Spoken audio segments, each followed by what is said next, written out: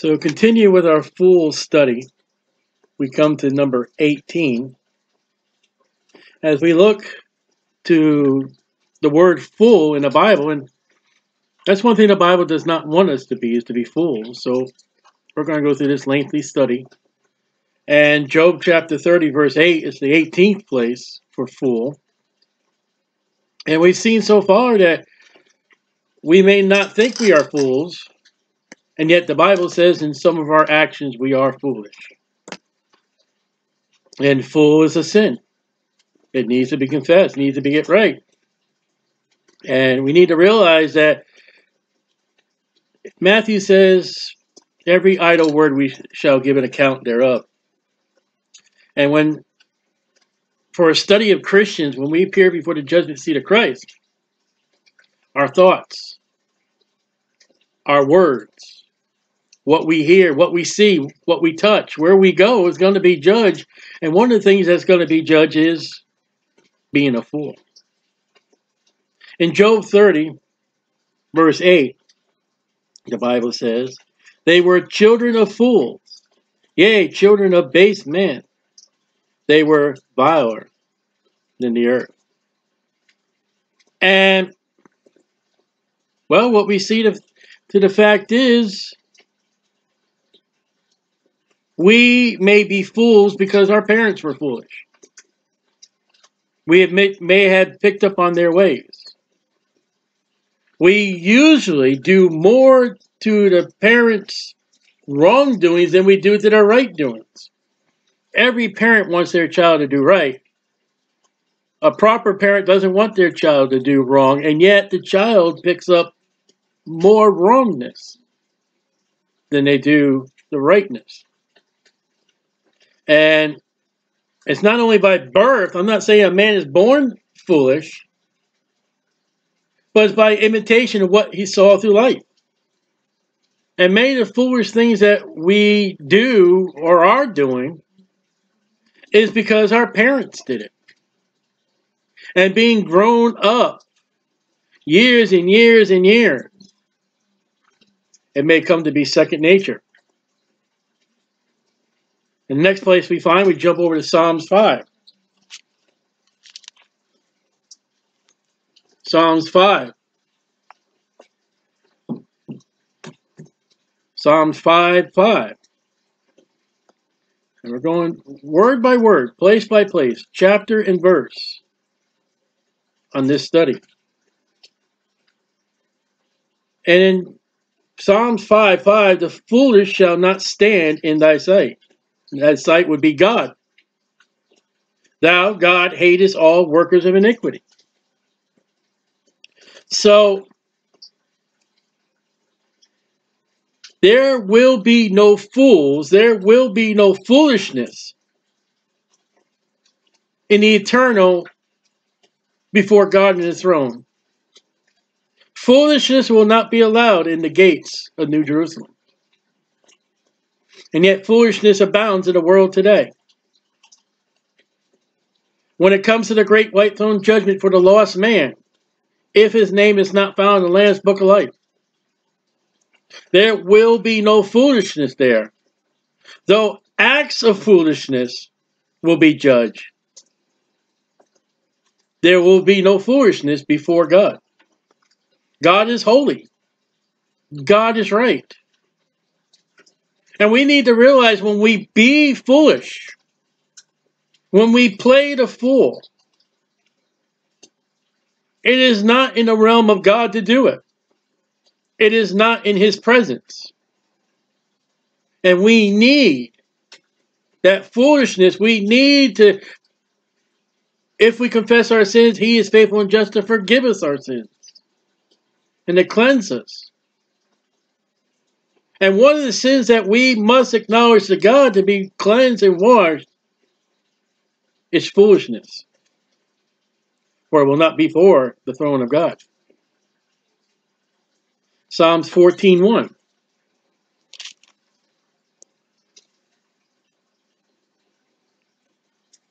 You know, we think of that court jester. We think of a bumbling idiot we think of somebody who has not their sense. when we talk about the word fool. And yet, here we are, 19 verses. I have found myself to be a fool.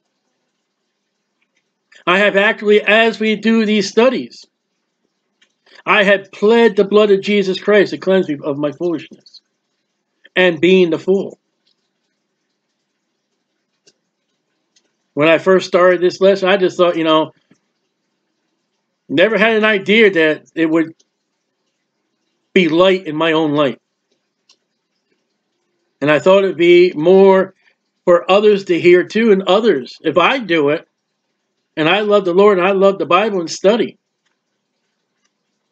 I would assume not all the fools we're talking about, but somewhere in our Christian life, as much as we love the Lord, there is a fool. There is foolishness in our lives. In Psalms chapter 14, verse 1, we read, The fool has said in his heart, There is no God. They are corrupt.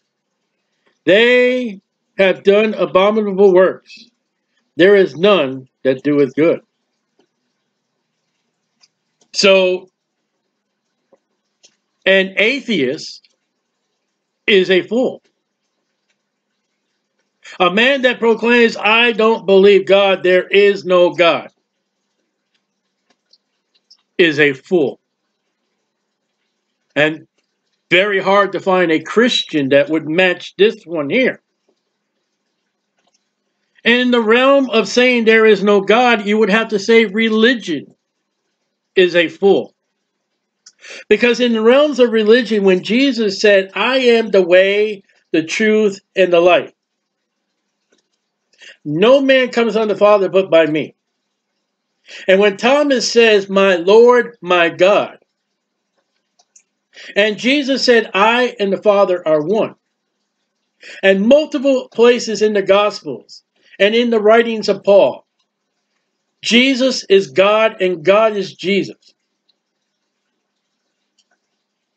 And when you deny the God of the Bible, Jesus Christ, and his gospel, and you have replaced it with another Jesus that Paul says that there is another Jesus. In the realm of, I have a Jesus that doesn't match the Bible, whatever that Jesus is, you are saying there is no God. And you are relying on a small God or possibly small gods. And in that realm of religion or another Jesus, you are saying in your heart, there is no God because I've got another God. And you're a fool. I'll tell you, a fool would believe in a Jesus that came to North America. A fool would believe that God had revealed by golden plates and, and glasses. A fool would regard as far as an angel coming and visiting a prophet, though Acts chapter said, said that angel to Cornelius, go get a Christian and have him to witness to you. A fool would absolutely be somebody who think that hocus pocus and I can eat and drink the literal body and blood of Jesus. A fool would say if, if I cross my legs and get my mind out of my body, or if I worship animals, if I save animals, if I do something that is contrary to scripture for salvation, and in your heart of your religion, of your science, of your education, of your pride, you are saying there is no God, and you are a fool. You have forsaken the God of the Bible and the Word of God through the Bible for something else that is not God. And that is a fool. Because when we read chapter 14, verse 1, it says, The fool has said in his heart, and right away, there is no God. We think atheism. Though there could be somebody in a religion that promotes and, and says, I'm a Christ, I am of Jesus, I am a Christian, and they very well are not on the biblical foundation of Jesus Christ. They're a fool. They are corrupt. A man that has believed on Jesus Christ, the gospel of Jesus Christ, suffered and died, was buried, and arose again the third day according to the scriptures. He is not corrupt. He is not. The flesh may sin, but he has been circumcised from that flesh, his, his soul. He does not sin, for he's a child of God. There is no corruptness in a child of God by Jesus Christ. And then somebody comes along with another Jesus. Somebody comes along with another means of salvation. That's corrupt and that won't stand before God. You'll stand at the great white throne judgment. Your name will be checked in the book. If it's not in the book, you'll be cast off in the lake of fire that burneth forever. That's corrupt.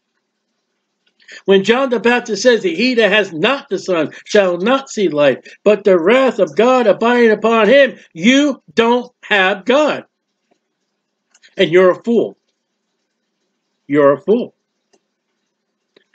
and have done abominable works. And there's all kinds of religious and, and all kinds of try to make God satisfied with works when the Bible says not of works. Least any man boasts. So a man that says, I'm going by heaven by what I have done, what I am doing, is a fool. And saying there is no God. Because if he were to promote, if he were to say there's a God, he would do that which is of God. And today that would be through the blood of Jesus Christ. And many religions are not bloody. Some are watery, some are worky. Some are other gods. And that's a fool. So atheism and religion would be foolish. Would be fools. Psalm 38 5. Psalm 38 5.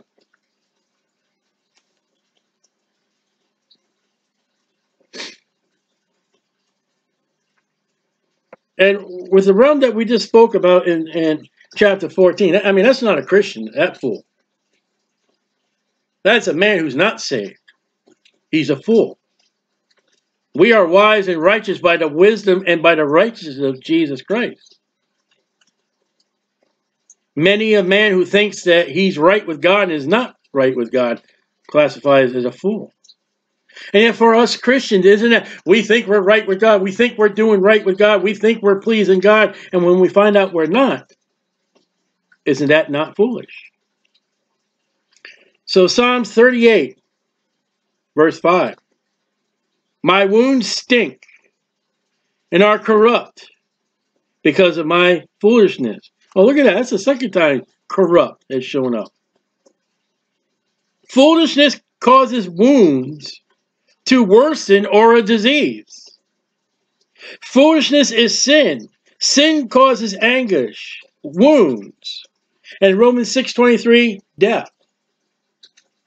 The more we are fools, saved or lost, and do not deal with our foolishness, do not confess our foolishness, we become even more stinking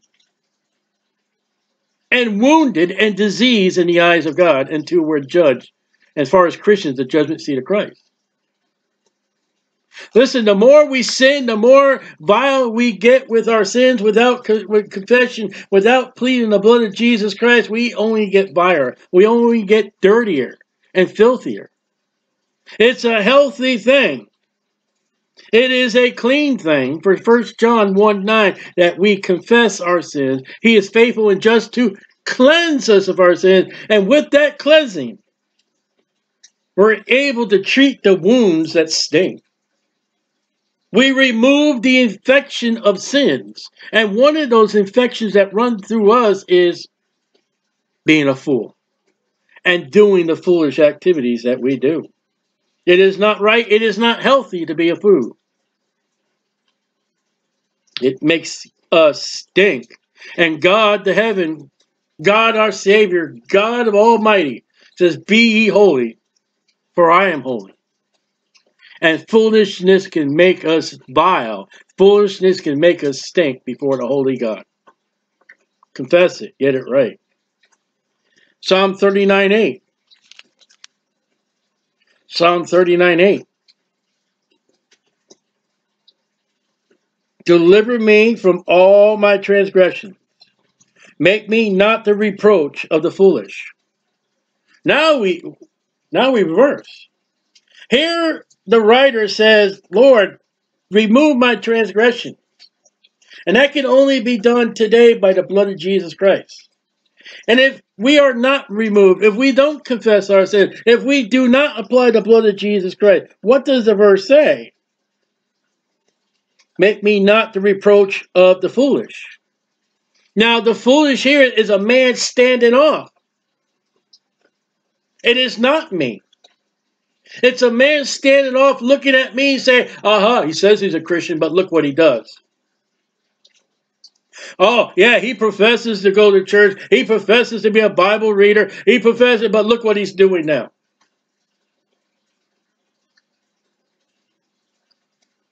So not only we are to seek God to remove our transgressions, we are to seek to remove, get rid of those sins that we do.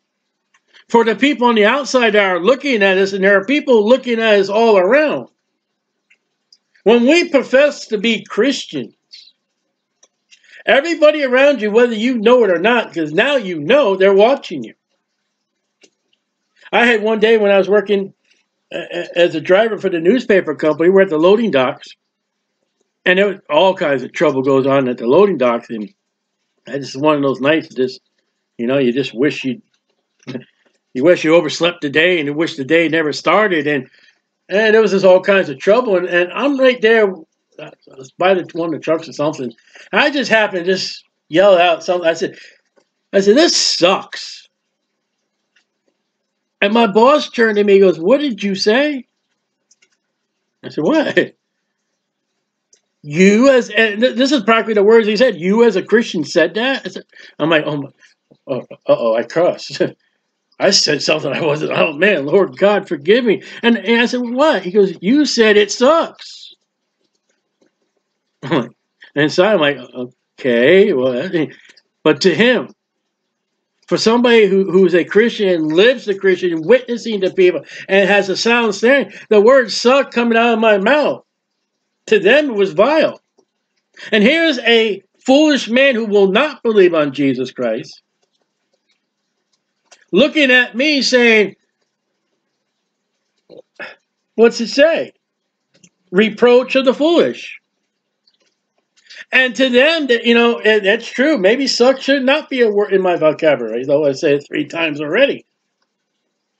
To him, it was.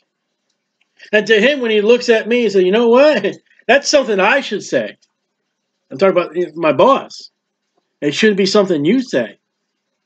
And we got to realize as Christians, we do things that offend people, not because of who we are, because of what they look to us to be. The world knows what the true Christian is supposed to be like. And there are times that, oh, that reproach from them. There have been a few times in my life I have been reproached by an unsaved person. That's a big jab. But that's where that foolish man has become wise. I should have been the fool. Chapter, where are we now? chapter 49, verse 10, Psalms. Chapter 49, verse 10.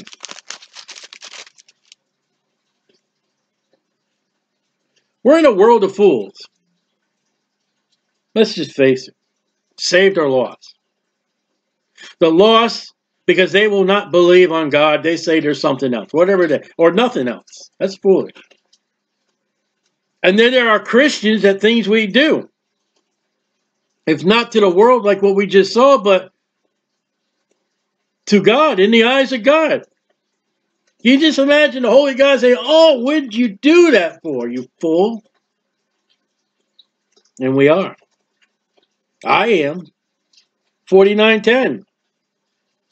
For he seeth that wise men die, okay. Likewise the fool, and the brutish person perish and leave their wealth to others. So, what is this? Are you wise? Are you foolish? You brutish? Are you animal like? Are you high on top of the ladder? You down the bottom of the ladder? You a CEO? You you a prisoner in jail? Are you a homeless person? We all die. And with Romans 6:23, the wages of sin is death. And for the Bible says, For all have sinned come short of the glory of God. That if there's one thing that happens to a foolish person and to a wise person, if it happens to a Christian, if it happens to a lost man, death is coming. Death is more sure than taxes. But we just don't know when it's going to happen.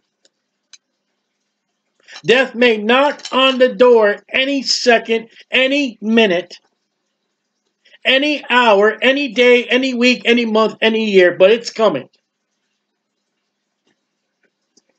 And the, the common cure of man that we have is to believe on the Lord Jesus Christ and to be saved. And the common core of all man, whether you're white, black, or yellow, male or female, is we are sinners. And our sins will cause us to die. And if you're rich or you're poor, you're not going to stop it. When God has and will take our last breath, you can have all the money in the world. When God says it's up, you're going. You will pass on. You will be buried and wake up in hell, Luke 16, or you'll be absent from the body and present with the Lord. Either or. But death will happen. You could be the greatest medical doctor, and you could be not only the greatest medical doctor, but you can handle all medical illnesses of the body, of anybody from head to toe. From as far as your, your, your hands go, from left to right. You might be able to work on every body part of the body. But if it's your time to go, your skills, your technology will not and cannot save your soul, cannot prevent you from death. As to the wise, to the fool, we are in the same realm of death is coming. Now, the only way you can escape death, and it's possible, but we don't know when, is for a Bible, is for a born again Christian who is washed by the blood of Jesus Christ, and the rapture happens. That's the only way a person will escape death by rapture. But again, we don't know when that's going to happen. It could happen right now. I could be doing this video, and this video will be playing and playing and playing until somebody comes in and takes the computer. Then I won't see death. But if the Lord tarries, I'm going to die. You're going to die. And all the education, all the medication, all the money is not going to prevent you. You will die and you are a sinner. I dealt with one guy one time. Oh, I've never sinned. I, I, yeah, well, I'll stand over your grave and tell you you're a sinner. So, death happens to fools. Death happens to everybody, regardless. Psalms 53, verse 1. Psalms 53, verse 1. The fool has said in his heart, There is no God corrupt are they, and have done abominable iniquity. There is none that doeth good. Oh boy, look at that. Verily, verily. We saw that. We saw that in chapter 14, verse 1. In chapter 14, verse 1, we, we saw the fool has said in his heart, There is no God. They are corrupt. They have done abominable works. There is none that doeth good. Now notice what chapter 53 says. It says, they have done abominable iniquity. You know what your works of salvation is to God? I'm going to twiddle beads. I'm going to have a membership. I'm going to give charity. I'm going to say prayers. I'm going to walk old ladies across the street. I am going to be a good person. God said, Isaiah, uh, uh, Psalms 14, 1, uh, Psalms 53, verse 1. That's iniquity. So when you rely on a works system, Or I'm going to sell magazine. I'm going to improve myself in front of my pastor. I'm going to do something for the priest. I'm going to do something that God would not allow me to do for salvation. You are committing acts of iniquity, and the more you do for your religion, the more you become a fool by denying God. So, scripture with scripture, you are a fool to think your works are going to save you. When God says scripture with scripture, those works are iniquity. You are actually saying there is no God. Because if you were to say there is a God, you would believe on the one that Thomas said, My Lord, my God. And when you stand as a Jehovah Witness and you deny Jesus Christ and yet go about, oh, we're Jehovah Witnesses, you have said there is no God. You are a fool. And I've had Jehovah Witnesses tell me that Jesus Christ is not God. They are not ashamed to say that. And the Bible says you're a fool. I had Roman Catholic family tell me that the Jesus I preach, he is not the one. Mary, to my face, in my ears, and I would say, you're a fool. It's that plain and simple. When you deny the salvation of Jesus Christ, you are linked. You're not worse than an atheist. You are linked with an atheist. Because you're saying there is no God by not receiving Jesus Christ as your Savior. It's that simple.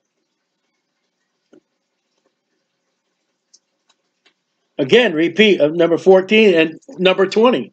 That number 20 was the fool has said in his heart, there's no God. Number 24, the fool has said in his there's no God. So it's important that God has put it in there twice, a verily, verily. God repeated it. Psalm 69, verse 5. You're going to see a lot of fools that go to Broadway.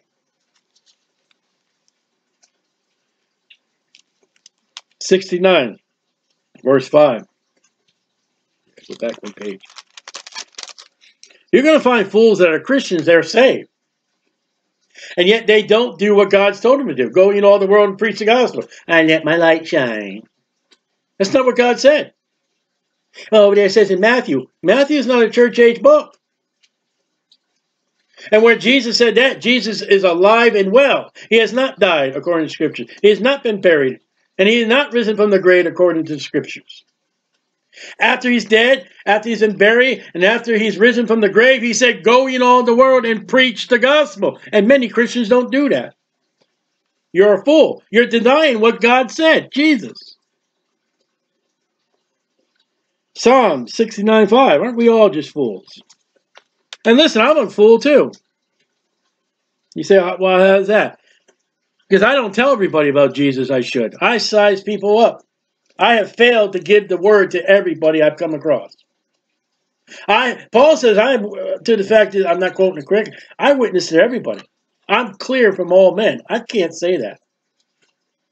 So I guess I'm a fool. Because I have not preached the gospel to every creature. I need to repent. Psalm 69, verse 5. O God, thou knowest my foolishness, and my sins are not hid from thee. Uh, uh, how's that? Sins is linked to foolishness. It's right there. It's right there. We have got to acknowledge that our foolishness is sin.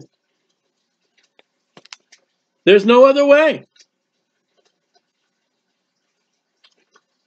And I don't know, you know, when you came across it, oh, look at this, a study of fools. I don't know how you came into the study. Look at, you know, hey, I want my neighbor. Oh, that guy over there, them people over there, my coworkers. I don't know how you went into the study. But I don't know if you came into study and say, well, I want to learn how I'm a fool. And yet, aren't we? Aren't I a fool?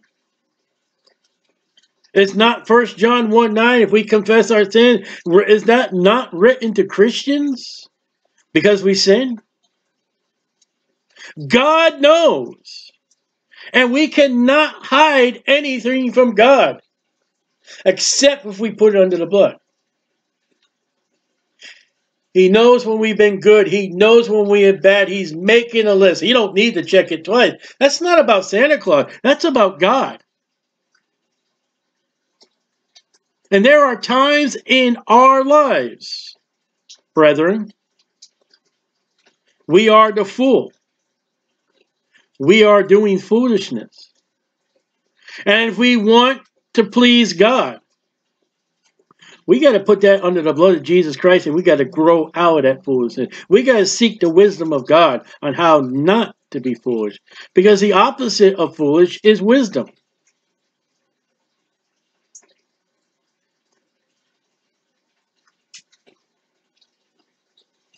Foolishness will stand for the Christian as wood, hay, and stubble one day.